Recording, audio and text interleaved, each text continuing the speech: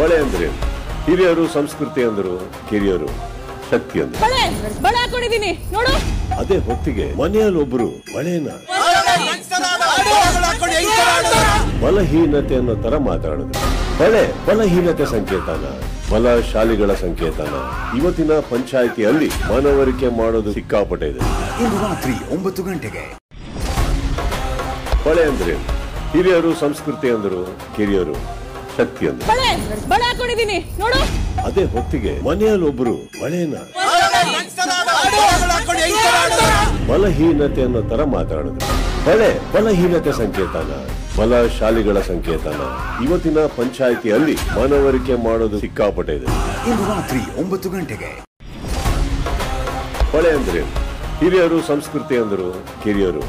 ಶಕ್ತಿ ಅಂತ ಬಳೆ ಬಳೆ ನೋಡು. ಅದೇ ಹೊತ್ತಿಗೆ ಮನೆಯಲ್ಲಿ ಒಬ್ರು ಬಳೆನ